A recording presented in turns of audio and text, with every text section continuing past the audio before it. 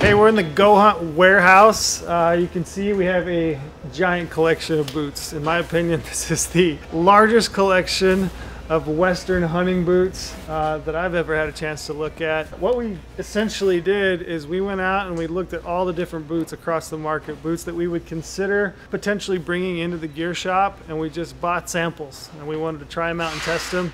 You can see we've got them all assembled. So, you know, yesterday and today, uh, Jared and I a lot of the guys in the office are just working through all these different boots, kind of seeing what we like and don't like, and ultimately what we'll end up bringing to you guys in the Go Hunt Gear Shop. We've got boots that we currently carry, we got boots that we're potentially thinking about carrying, and basically we're just spending uh, a couple days just pouring over boots and looking at everything footwear and, and ultimately just deciding what we want in our Go Hunt Gear Shop. We think that there's some excellent options on the market available to people. We wanted to explore all of them, look in all the nooks and crannies from all the different companies, and and just bring you guys the best boots on the market.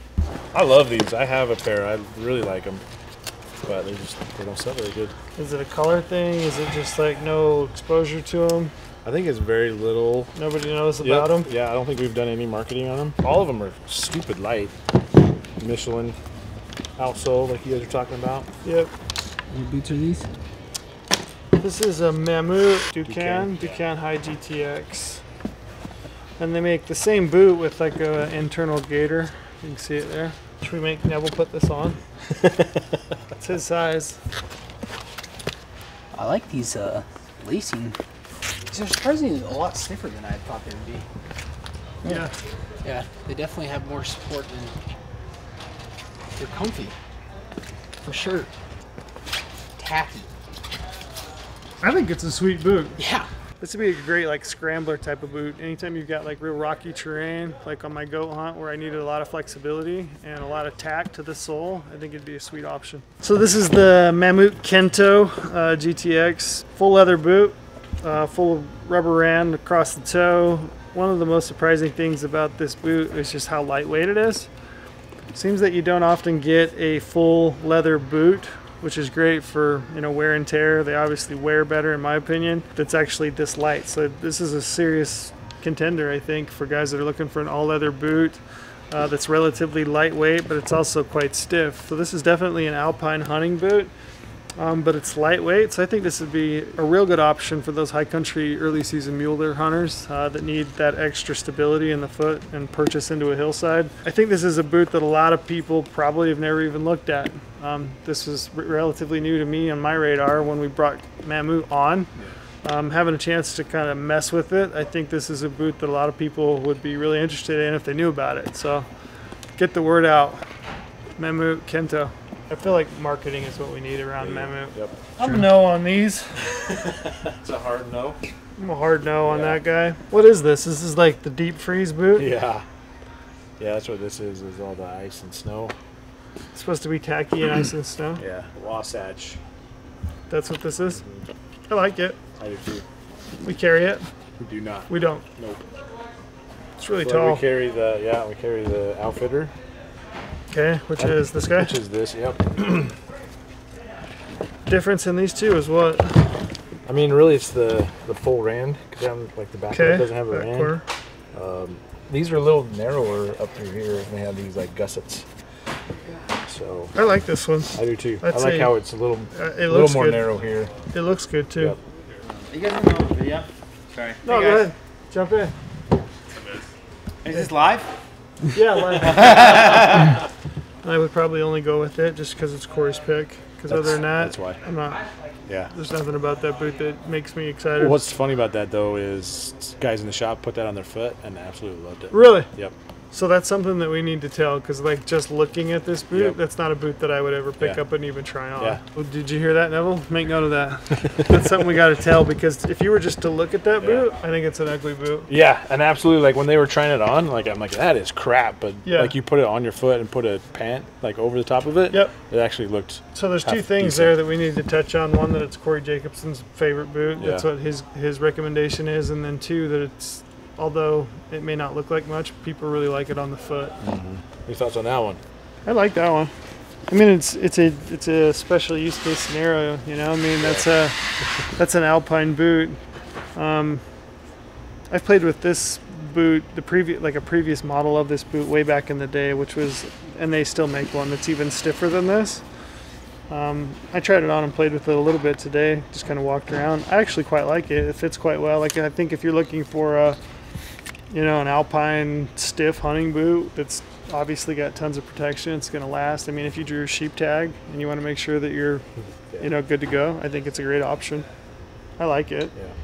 But like I said, it may not be for everybody, but there's a certain use case for that boot that I think it hits. So I like it. And I think it's a good looking boot. It used to be called the Ibex, I think. Yeah, Yeah. yeah, I still have it.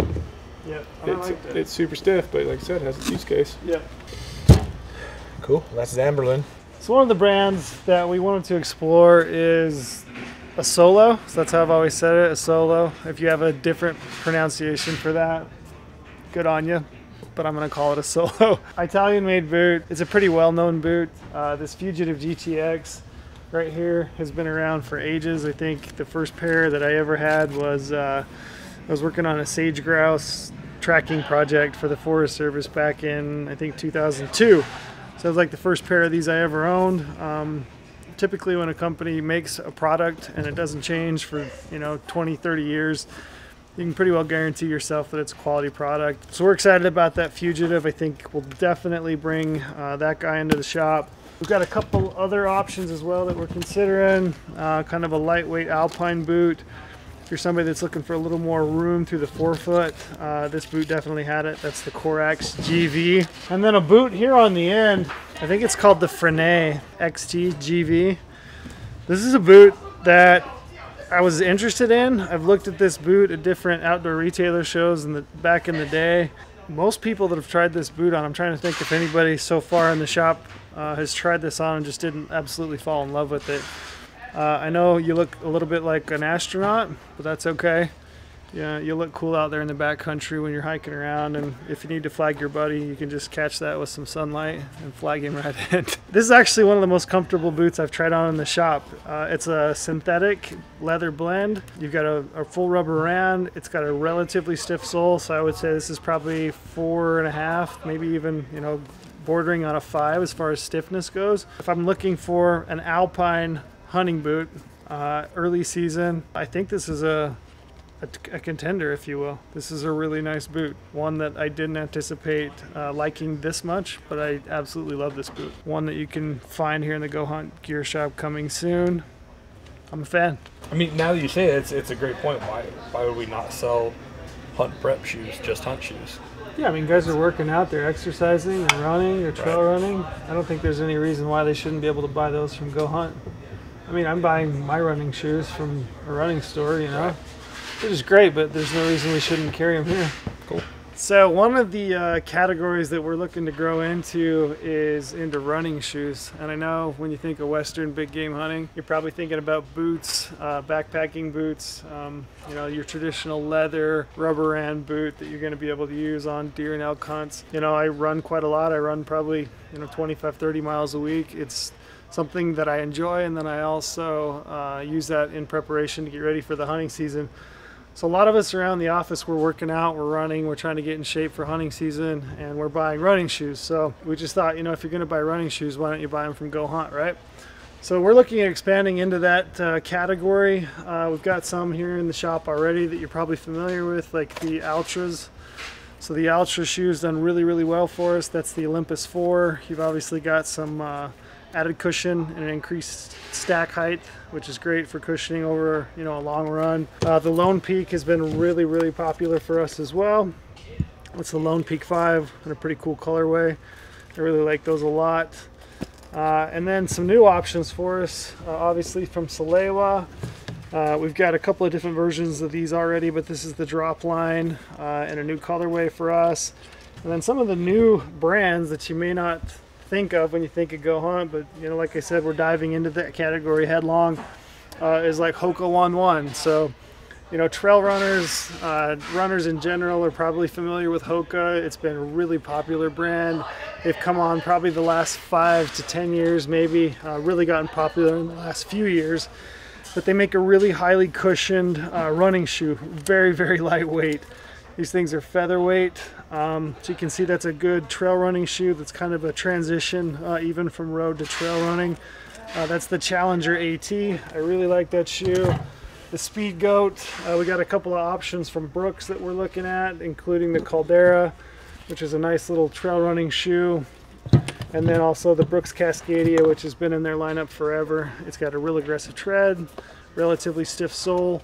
Uh, any one of these you could do a bunch of hiking in, you can do running in, and just you know everything you need to get kind of get ready for that hunting season. So we want to be able to take you from you know applications and that whole process through your pre-hunt prep, getting ready, working out, and then finally into your hunt with a full you know leather boot if that's what you're looking for. All right, so we're just getting ready to jump on a podcast where we're going to discuss uh, pretty much everything we found today. We ran through I think 153 pairs of boots today uh, is what we had total in the warehouse. Went through boot by boot, uh, brand by brand. Um, we're gonna pick from those, and ultimately, those are the boots that are gonna end up in the Go Hunt Gear Shop.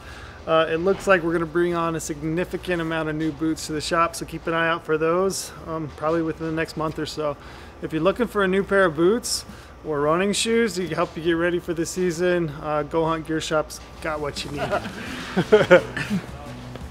Good work, Trail. That's a wrap. round two. and do it again. Let's go podcast. Okay.